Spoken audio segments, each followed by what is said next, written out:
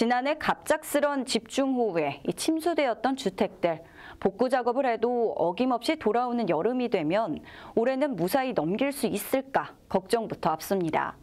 얼마 전 서울시는 풍수해 대책 추진 상황을 발표했는데요.